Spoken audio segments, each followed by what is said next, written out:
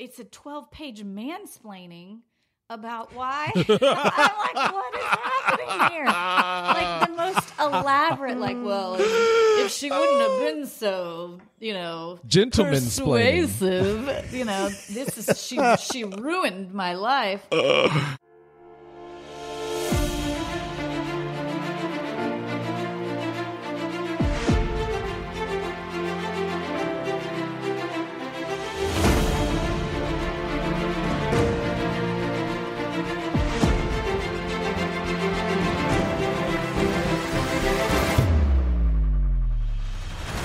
Today's Movie Verdicts episode of Lone Star Lawyers on the Varsity Podcast Network is brought to you by Varsity Search. Varsity Search specializes in helping small law firms in Texas hire lawyers and build great teams. So if you're a Hamilton looking for your Lafayette or a Jefferson looking for your Madison, please go to varsitysearch.com and book a time to visit right into my calendar. Varsity Search, building great teams. Before we hop in here, we are about to share with you part two of our Hamilton deep dive. So if you haven't listened to part one yet, it's in the feed. Go back, listen to that first, because when we start here, we're going to jump right back into the conversation where we left off. So don't want you to kind of have that abrupt entrance if you haven't listened to part one yet. So go back, listen to part one, then listen to part two, and uh, you'll be all set. They say George Washington's yielding his power and stepping away. Is that true? I wasn't aware that was something a person could do.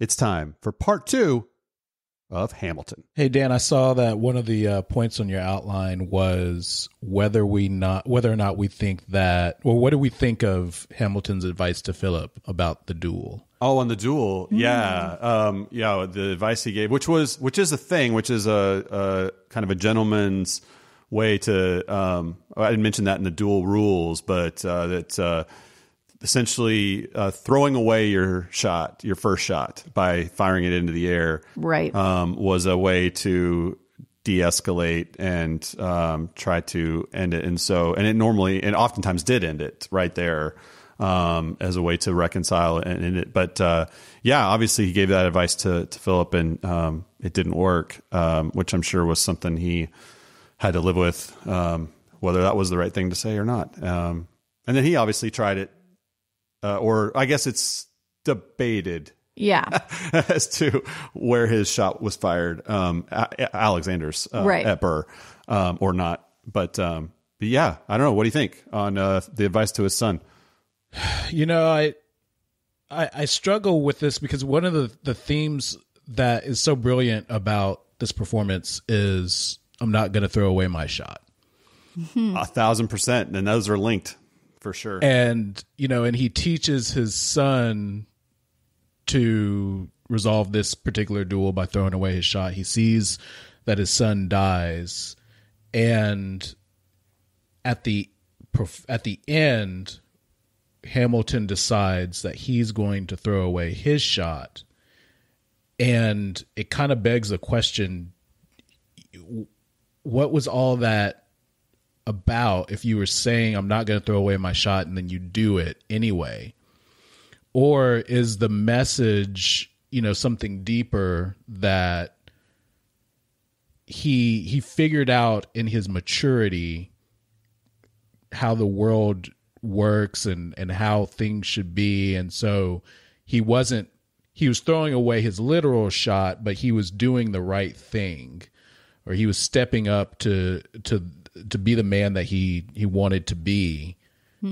yeah, I, I think there's definitely an arc to Hamilton's, you know, approach in the sense of yeah, when he's just coming into the harbor of New York from, you know, uh, the hurricane ravaged, you know, tough background and all that. Then he's, you know, he's, you know, definitely in one mindset and one mode.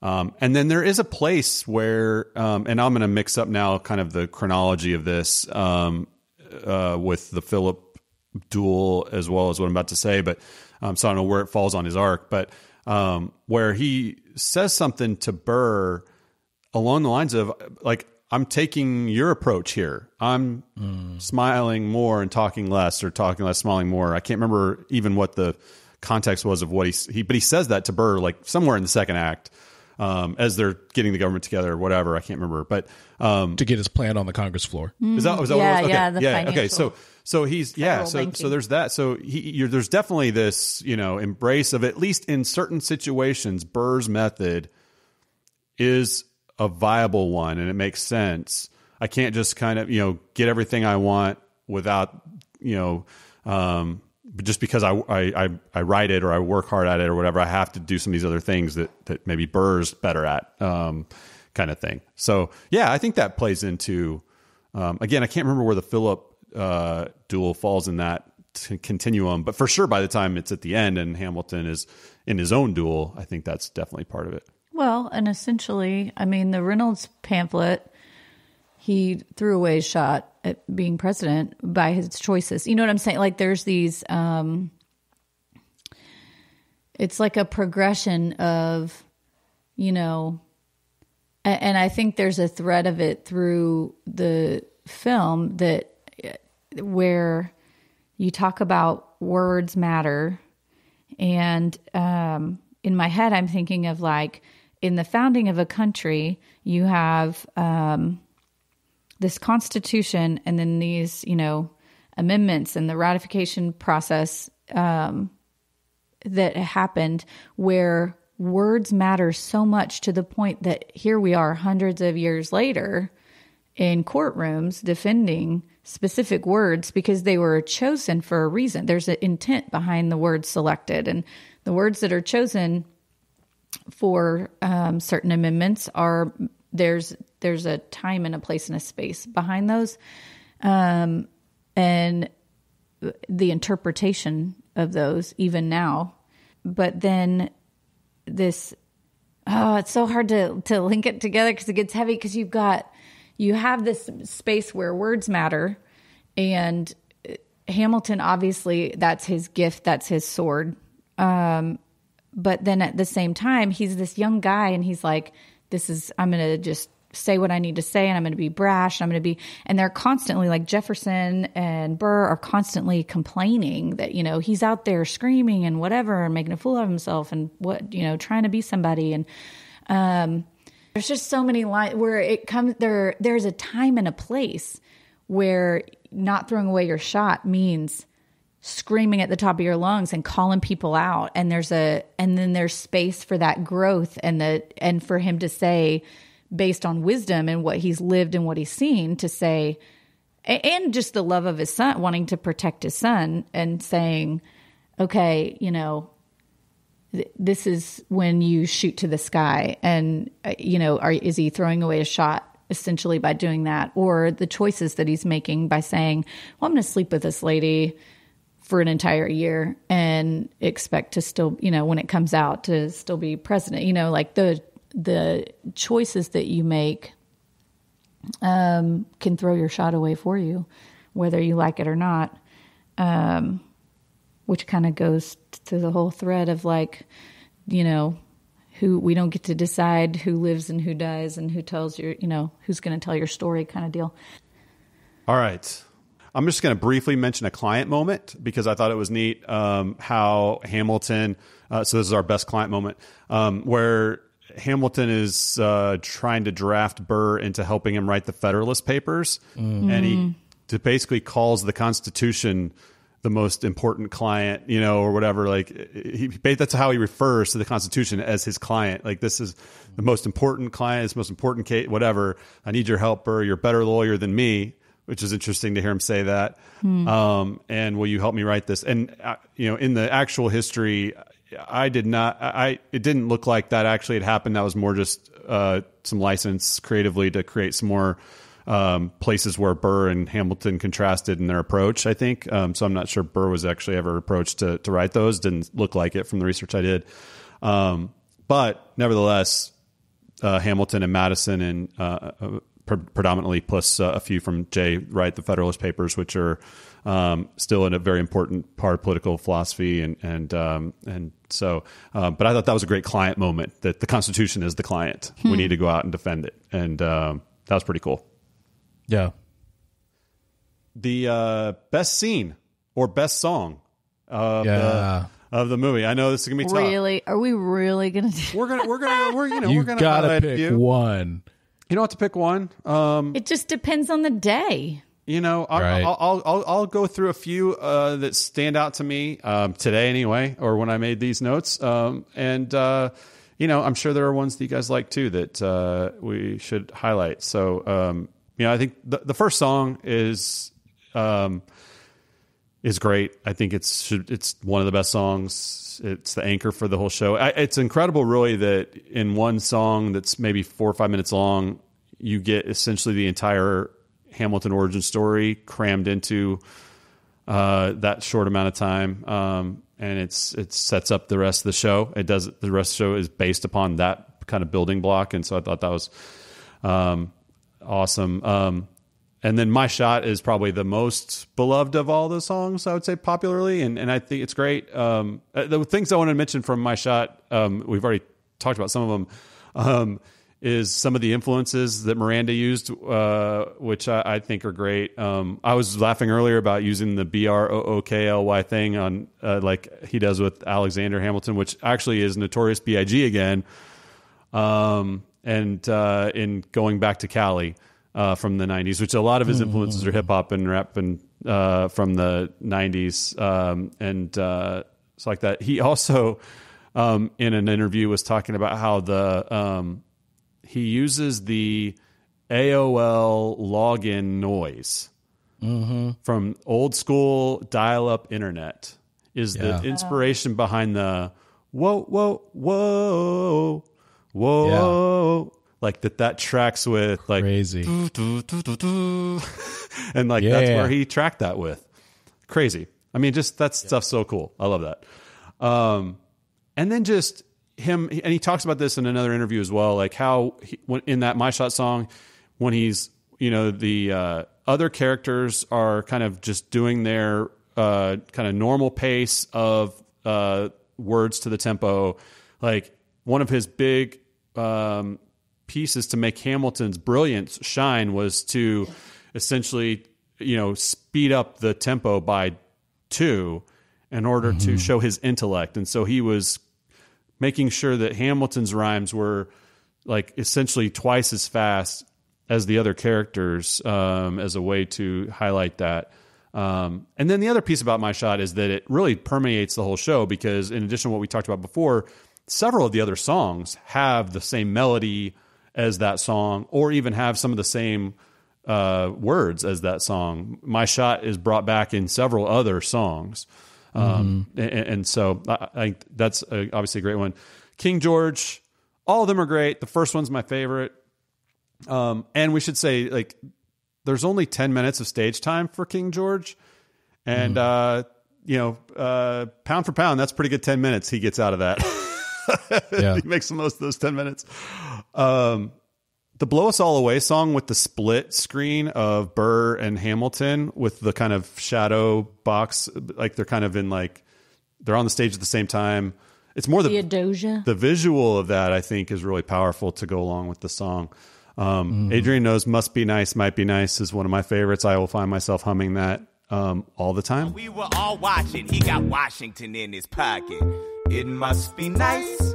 It must be nice to have Washington on your side. It must be nice.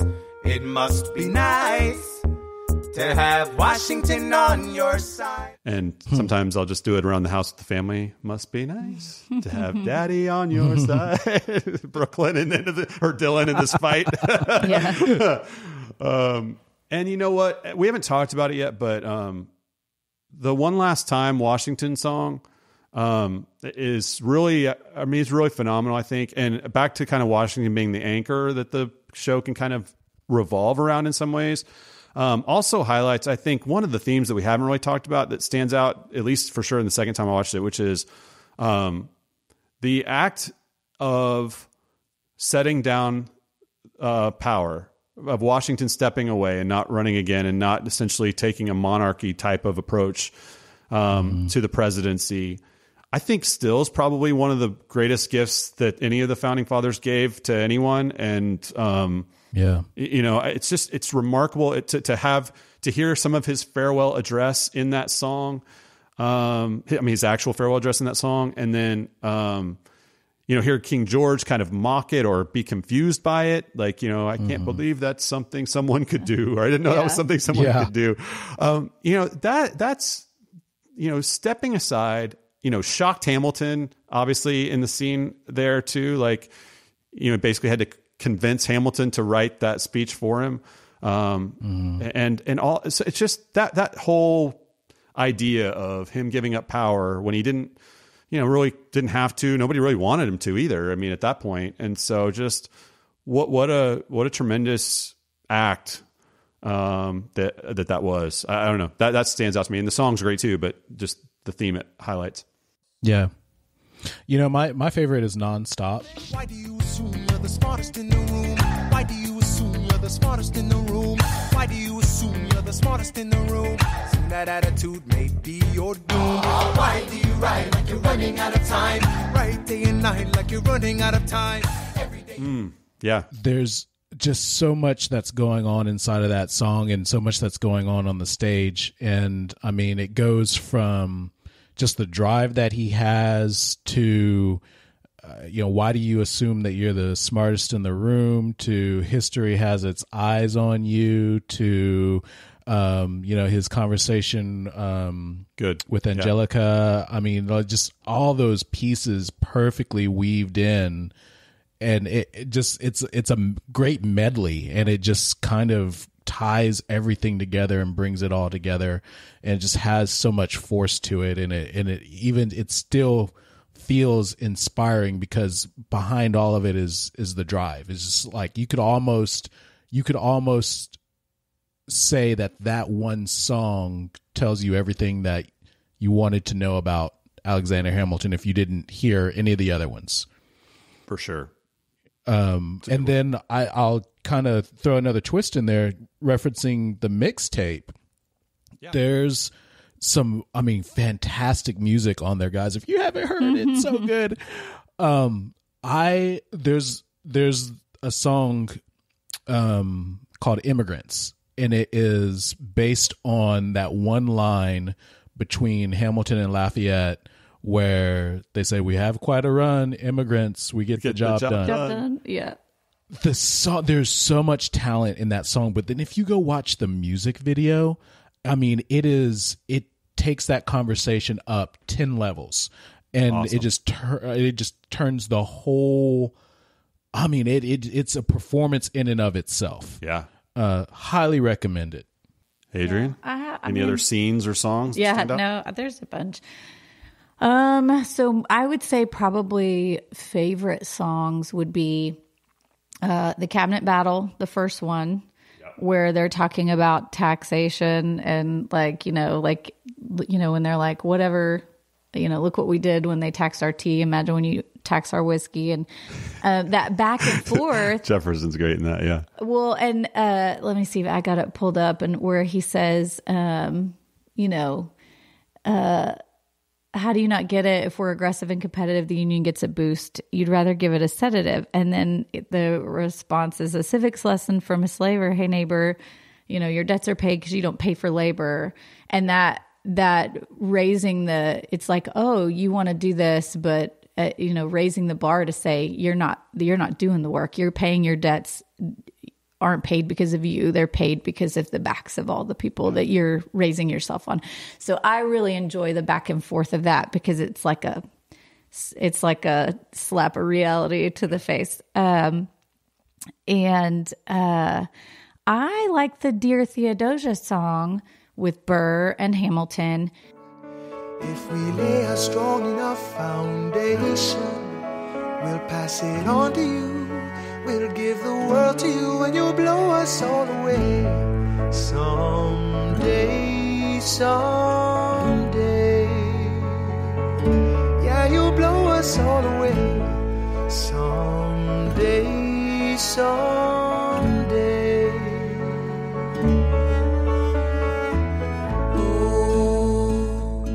When you smile, I am undone.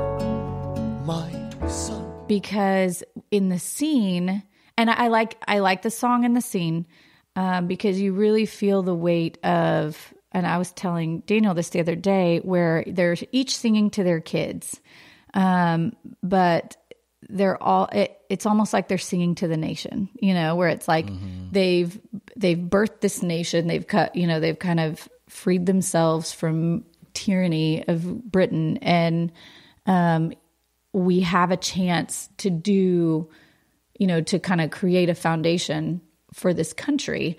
And um, i just thought it was really brilliant um, the juxtaposition of two people who um, don't necessarily line up don't necessarily like one another but their desire is to create a space where their kids can grow up and have this amazing nation and the possibility like to see the weight on both of them and then to see the the possibility of like what this could happen but then also to see the side by side that you need each other like they needed each other um to to create that. Like you can't just have a one-sided deal and it be great for everybody that everybody's input is valued and that uh, it just the scene in the song um was really good. And then George Washington's song I really liked um for the reasons that you mentioned, but also why do I never have anything pulled up on my phone? Um was he kept referencing that he wants to sit under his own vine and it's a verse in Micah and I was reading the rest of the passage and it really was um more than just that one verse that he mentions where they're talking about um you know that nations that everyone will kind of beat their swords into their plowshares their spears into pruning hooks where it's like we stop the fighting and we start growing and nation will not take up sword against nation nor will they train for war anymore. Everyone will sit under their own vine and under their own fig tree and no one will make them afraid for the lord almighty has spoken. And for him to be singing that first of all his voice is butter like he ju- his his You, voice is you hung phenomenal. up on me, Adrian. You hung up on me. You hung up on. Oh no! Let me call you back. That's okay. What I had to say wasn't important. That's what I'm getting. no. Yo, you can still say it. You just can't hear her. Communicating So you know. right now. Uh, uh, uh, uh, uh, let's call you back. It must be nice. It must be nice Okay, are you there? okay, there. we to have Yeah. Robert on the phone. On the line. It must be nice. Must be But no, nice. so that was one of my other. I would say that was a a solid, a solid scene and song combined. I agree. Where you just feel the. I love the biblical reference from a space of like, I am tired of war. I'm tired of fighting. I want to. I want to sit in this place where we've all found space, where everybody has a space and everybody can grow and can thrive. And I want to. I want to be done with this. And I feel like the work of creating a country or the work of, I mean, look at kind of what you're doing right now, Robert, where you're just it's like you're exhausted. The work of, you know, fighting for what's good and what's right and what's just, um, so that we can live in a space where God intended us to to be is exhausting and tiring. And just to see that in his face and to hear it in his voice and the expressions it really was beautiful. And to say gosh when people know um i feel like i listened to a podcast where somebody was saying like i well and you know really good actors and and bands and stuff do it all the time where it's like i don't want to go out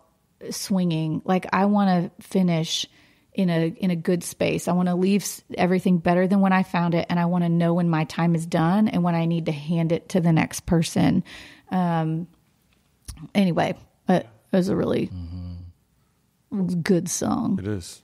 Um, one piece I wanted to pick up on from your rap battle Oh, yeah, yeah. suggestion, um, because there was another uh, rap battle originally written for the production, which was the battle over slavery.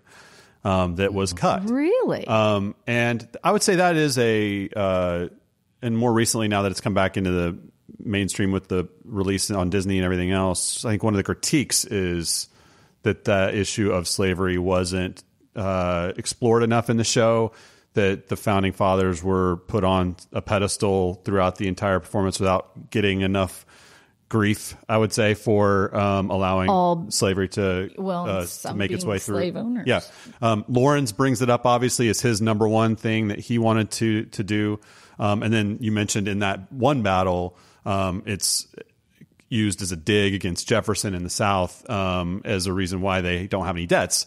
Um, and so it's not that it's never mentioned, but it's uh, it's certainly not highlighted and it's not elevated and and and all of that. So um, you know, I think, and even I think Lin Miranda in, in uh, response to critique has said, yeah, I mean, it's it's a fair critique, you know, um, and uh, worthy of discussion. So.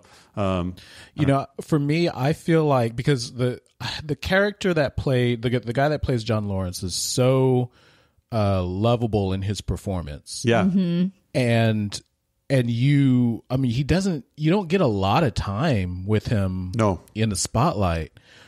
But when the letter gets delivered from his father, and Eliza is reading it, and John Laurens is kind of off to the the side, and it's sort of the memory of him, and As you know, John dreamed of emancipating and recruiting 3,000 men for the first all black military regiment. His dream of freedom for these men dies with him. Tomorrow there'll be more of us. Alexander, are you all right? I have so much work to do. I mean, it just ooh, it just brings Yeah. chills to see Alexander looking that way and hearing that that refrain. Tomorrow there'll be more of us um, from the story of tonight. yeah, It it it it just the the idea that and the letter says this from his father that his dream to see those men that he fought with freed, Freed. died with him it just it it feels like a powerful enough statement that it speaks for the disappointment and the letdown and the hurt of the loss of that that hope of of freedom for for the slaves as well um and it just it, it's so powerful to, to me i just I, I love it i love that character i love that song yeah. for sure. yeah All right. Uh, best line in the movie, the Yellow Highlighter Award. oh gosh. and we've already mentioned a bunch, I think. Um, uh, some of the obvious ones, Talk Less, Smile More, uh, has made its way into memes and face masks and everything else uh, that you can get uh, now. Um, you know, a couple of Washington ones, um, you know, that are very similar, actually, that I jotted down. Dying is easy, living is harder. Um, I thought, uh, as well as winning is easy, governing is harder. Um, those were kind of linked together. Um, but um, if you stand for nothing, Burr, what will you fall for? Um, was sort of a jolting first line and um, dig at Burr that Hamilton has early on. Um, another, uh, an Eliza one that I kind of I'll bring back to my first thematic comment about the art of words and the importance of words. Um, Eliza says in the song "Burn," um, "You built palaces out of paragraphs." I just kind of like that. I mean, that really sums up a lot of what Hamilton's power is um, with over her as a as they courted and over Angelica as they wrote back and forth and obviously as he founded the nation and wrote the Federalist Papers and all the writings he did for Washington. So um, that p- palaces out of paragraphs I liked a lot too. I, i'm gonna go for wait for it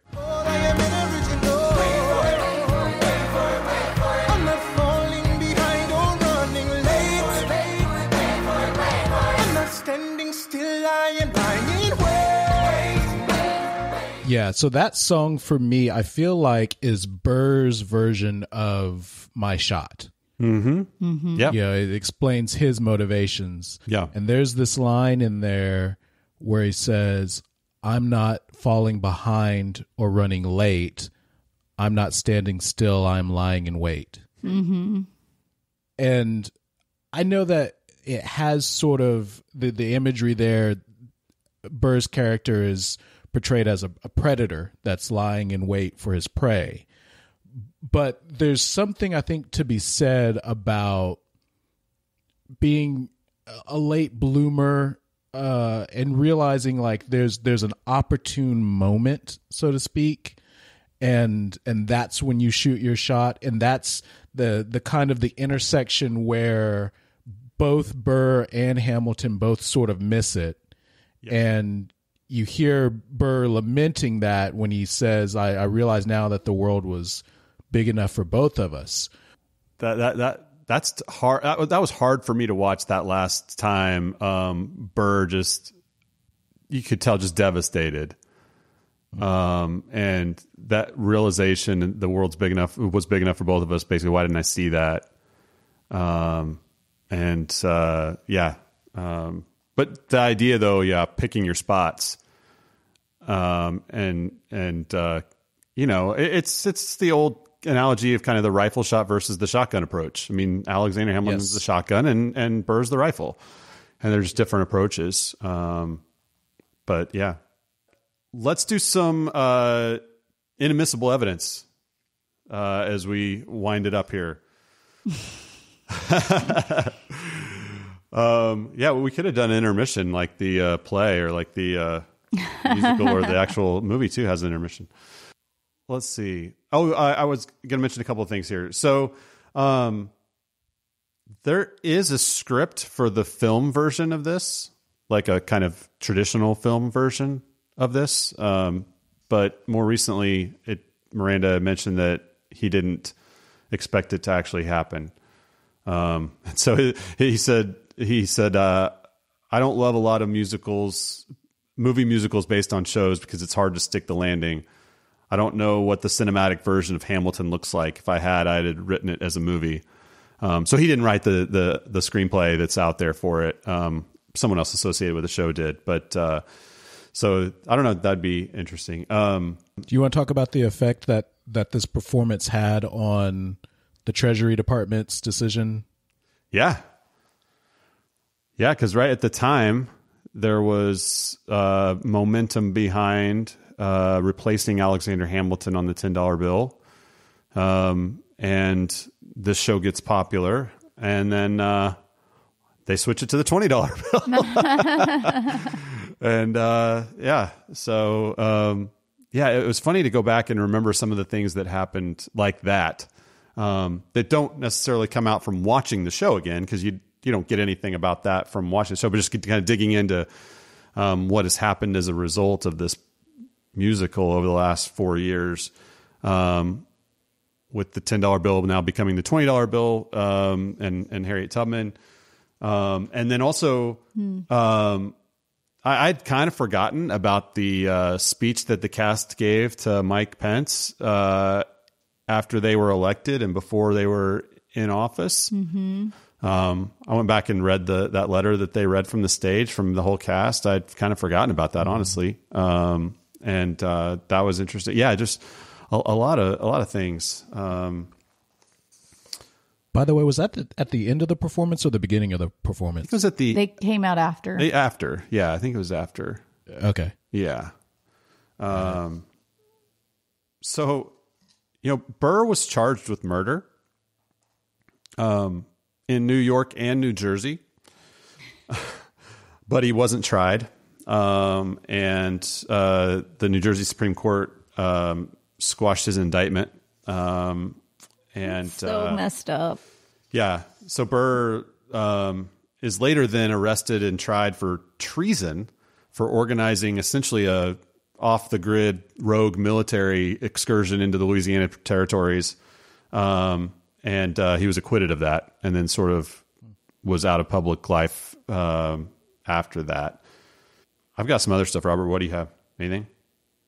Uh, you know, the revisiting the the issue of the Treasury Department, you know, there was talk about Harriet Tubman showing up Yeah. on the twenty dollar bill at one point, yeah.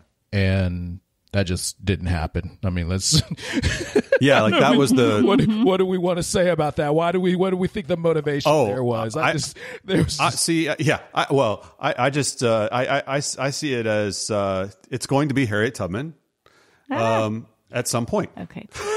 At I'm some- just still. I'm just still. I'm just. We took we, t- we took a four year pause on that one. yeah yeah. that's that's that's my thought on it. But um, yeah, I'll wait for point. it. Yeah, I no, just, uh, I, I hear you. I'm going to be an optimist on that one. I'm just. Uh, I'm assuming it's. Uh, yeah, it's just on pause. yeah. uh, other influences on the show, uh, The West Wing, which is one of our favorites, um, was a big influence on Hamilton and Aaron Sorkin's writing, who also wrote one of our other podcasts uh, uh, topics, uh, A Few Good Men, um, of course. Um, but uh, there are several different places. Um, like in the Schuyler Sisters song, Angelica sings, uh, I'm looking for a mind at work. Um, I'm looking for a mind at work. And that was a, a line that was given to uh, Rob Lowe's character, Sam Seaborn, um, when he's talking about what he looks for in a presidential candidate. He wants to see a mind at work. It's one of the first things he looks for. Um, we watched this episode last night. Yeah. The one with Ellie, um, where uh, Bartlet tells his daughter, Ellie, um, The only thing you ever had to do to make me happy was come home at the end of the day. all you had to do to make me happy was come home at the end of the day.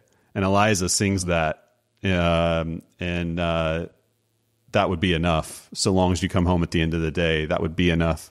Um, that came from there as well.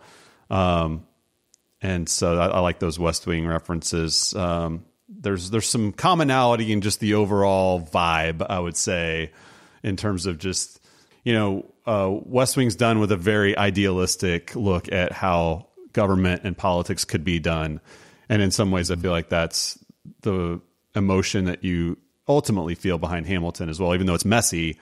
Um, I don't know. That, there's, I think there's some commonality there.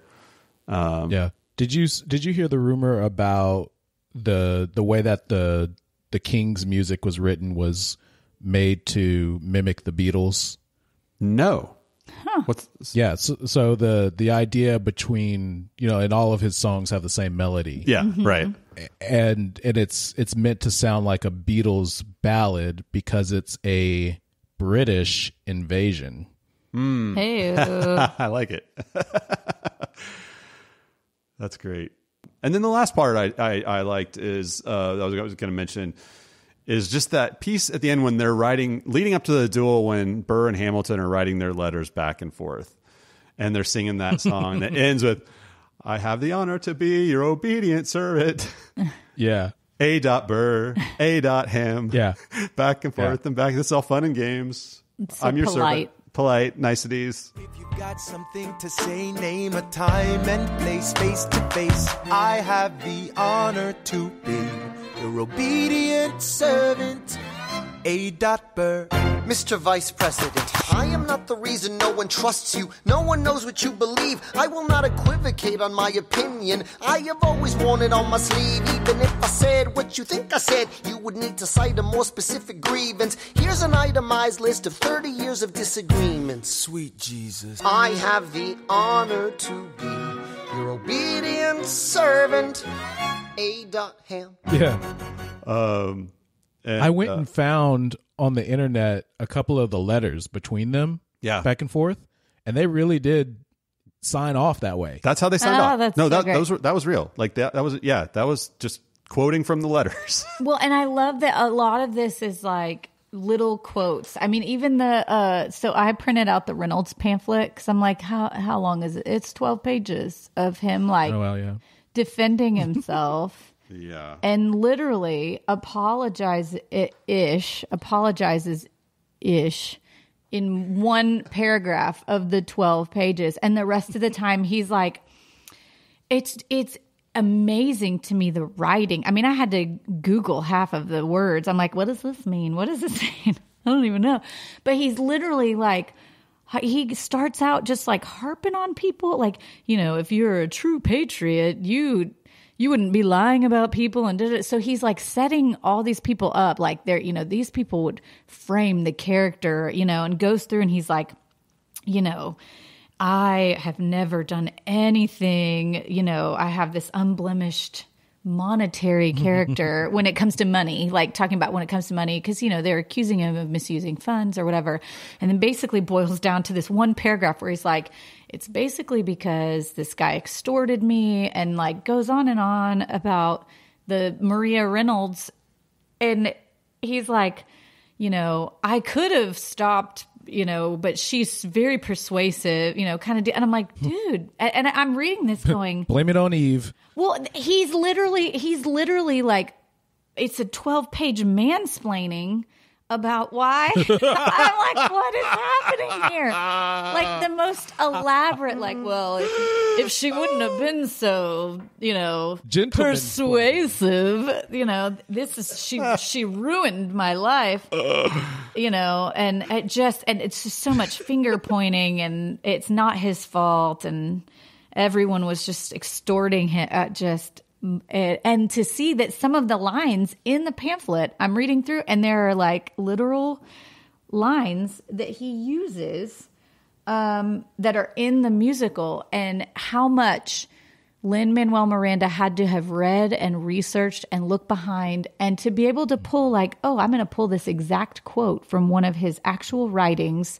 and these actual letters and put them in so that when people see this, I mean, some of it is entertainment, but there's so much of it that is actual history. Mm-hmm. And for people to really enjoy history, but then also with all the layers, walking away going, I need to just soak up the meaning behind this and to dig a little deeper and to see what, you know, and the hints at, oh, it's just, it was fascinating. So fascinating. Yeah. But I love that he pulls like the actual words from some of these letters uh, and puts it in the score of the songs. It's really incredible.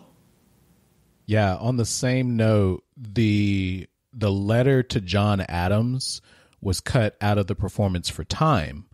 And instead uh, he just goes, "Sit down, John, you fat," and then he Yeah. drops this Yeah. big stack of papers. So I go and I I try to find that letter, and it is a it is a novel. It is a dictionary of what he had to say to and about John Adams.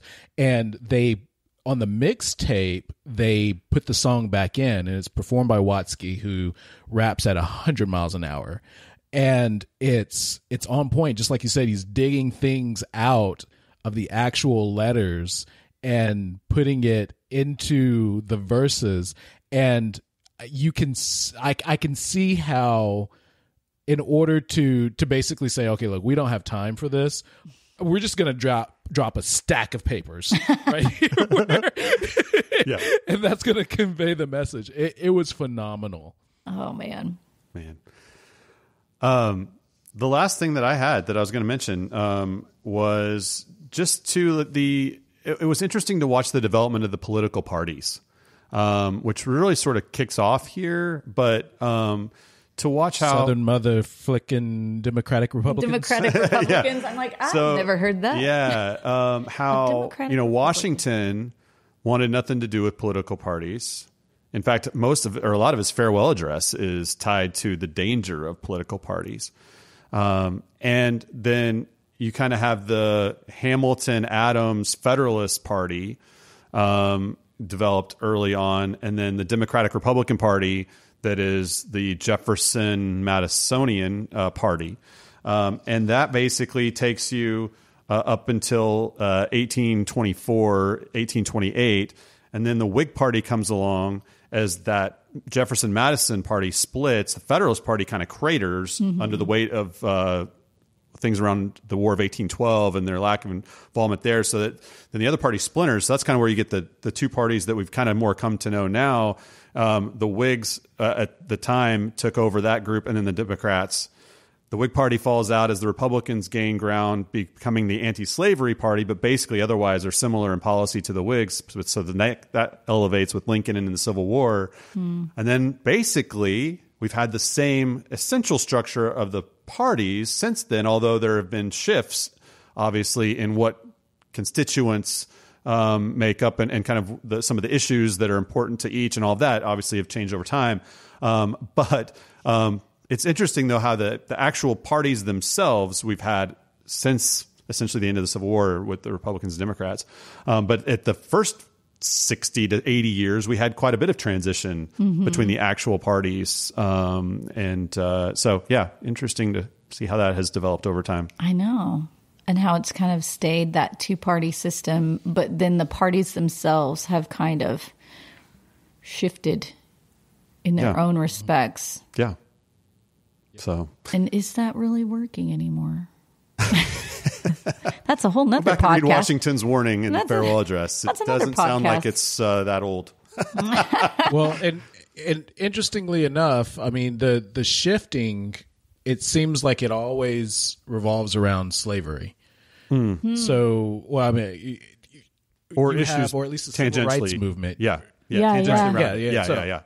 Yeah. So I mean, it was around the around the civil rights uh, era is is when the shift happened again, Right. and and you even get it in religion because then you get the the the Baptist the Southern Baptist Convention and um Southern Baptist and and the and the the First Baptist and that was not a geographical issue. right, right. you know, we, we we weren't fighting about the, the southern there did not uh, indicate conversation about Yeah. where we were going to put the headquarters. You know, so, Right, right. Yeah. Yeah, Yeah. interesting. Well, uh, closing thoughts.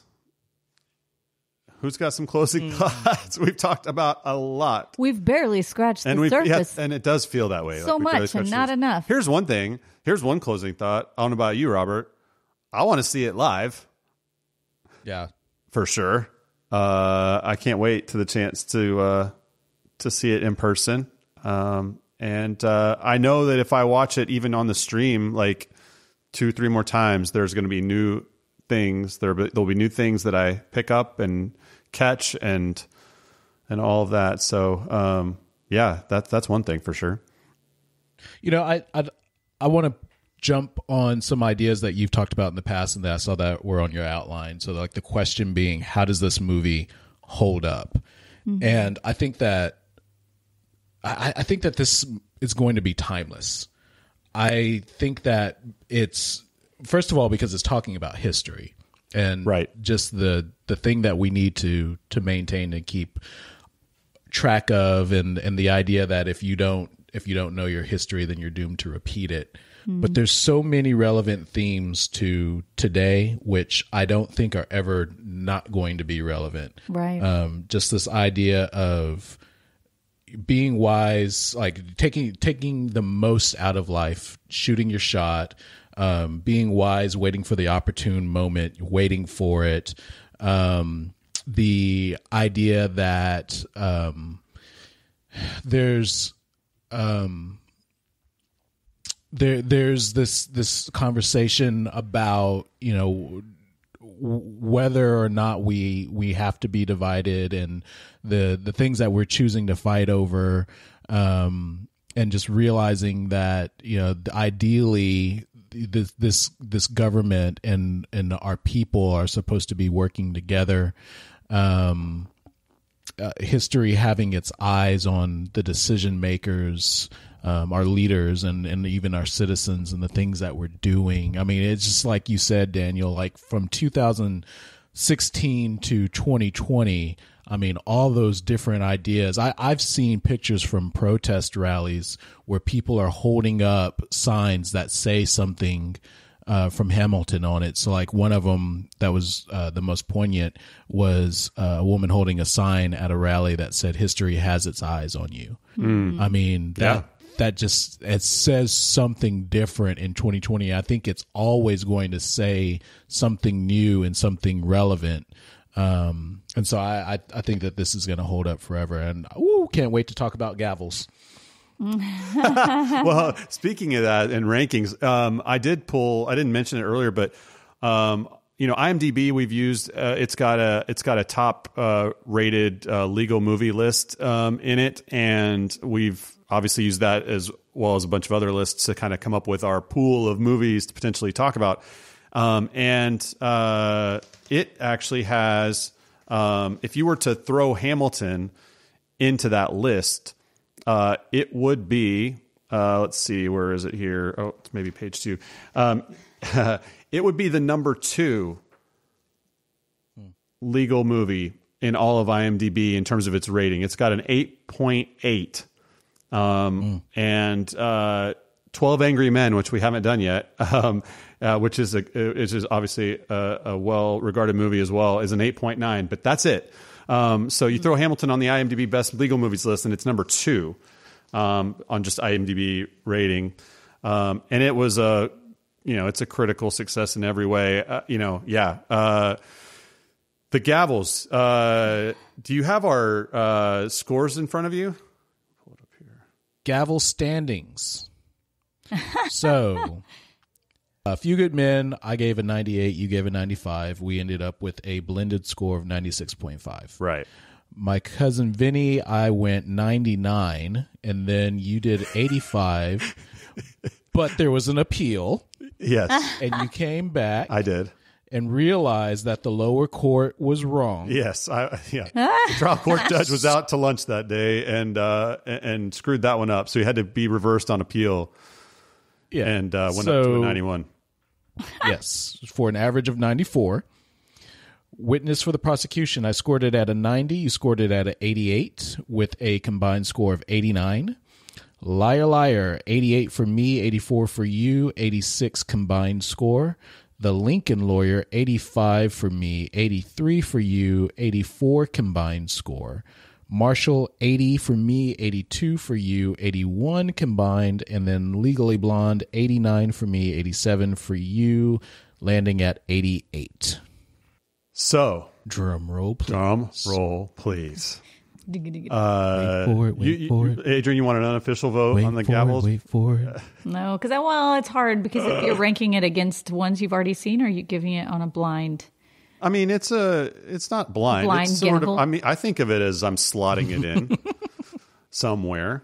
Um, and so here's here's where I kind of came down on this. Okay, um, I'm going to with an asterisk. uh, uh, with an asterisk, I'm going to uh, give this a 95 as well as a few good men. Wow. And here's my asterisk. The only reason that I'm not giving it higher than 95 is because it's, at least in my mind, two months old. A Few Good Men has withstood 25 years. We watched it back and did the podcast um, this year, and, and it's literally 25 years old. And so there's an element to how well a movie holds up. You talked about it earlier that you think Hamilton will. I agree with you. My anticipation is that uh, this movie would ultimately be a higher score than it would be the number one on my list uh, of all of these, and and be and would surpass A Few Good Men. But I don't think it's fair to do that to it yet, um, so soon out of the gate, because I want to give a little bit of legacy time for that. Um, but nevertheless, I'm going to stick there and and and still put it right at the 95 that I gave A Few Good Men, which is the highest score I've given. I know you're really shortchanging. You, you're hurt. I like all his scores are like lowballing people. Wait to see what we get jury duty. are you guys, are you guys She's been wanting to one? do jury duty for like. I want to hop in on that one. All right. All right, let's. let's Robert. what you got? 100. Like, what are you even doing? Why are you He even didn't, he asking? didn't give himself any room to do anything but. I was waiting for like a hundred and two or something like over a hundred. That's what I was no. like. Ah. he, he was capped Like, out. how- He had to do 100. How, how already could done 99 be 100? Yeah. Oh, My cousin Vinny, and I have no regrets. I just I've never seen Twelve Angry No Men, regrets. but I I just don't think it's gonna beat my cousin Vinny. But I mean, there's what's gonna beat Hamilton? I mean, oh my goodness, these themes that we're gonna be talking about for ever and ever and ever, um, and just the the brilliance of it. I mean, part of it is is what we're talking about, the message, but then part of it is the delivery. I mean, to to have a musical where rap is so much an important part of it. And then even the styles of music like you've got Yeah. um in uh oh goodness the yeah and wait for it there's like this caribbean like the the percussion of the the claps like the um the, the it almost sounds like steel drum i know it's not steel drum but just the main melody um the dun, dun, dun, dun, dun, dun, dun, dun, dun. it just it feels caribbean and then like that picks up again um with the nonstop and uh, then like the the the the turntable stage i mean that's almost a character all to itself Right. and and just all the the different levels and details about how like Burr always walks in a straight line, Hamilton always moves in an arc, the bullet, um, the dual casting, you know, Lafayette is is Jefferson. I mean, just there, I can't see anything beating this. Hey, y- y- it's uh, there is uh, nothing unreasonable at all about what you just said. So uh, it's a great movie. It's a great show. Can't wait to see it live. I'll watch it again a number of times. We'll listen to it on the reg. forever, probably. And uh, yeah, Robert, thank you again for doing this, and uh, I'm excited to uh, have the chance to sit down with you again. And uh, Adrian, thanks for joining us as well again. This is back to back, actually. Season finale of last year, season premiere of this year. Adrian, Watch out, Shocked knocking it out. Back. starting a trend. that's right. Hopefully, got some uh, good movies to review or to not review to dive into uh, coming up uh, as well. So stick with us for that. Um, but thanks everyone for listening, and uh, let us know if, what we got wrong. Let us know what we got right. Thanks everybody. right, let's teach them how to say goodbye. Sorry, what? One last time. Relax, have a drink with me. One last time. Let's take a break tonight and then we'll teach them how to say goodbye. To say goodbye love.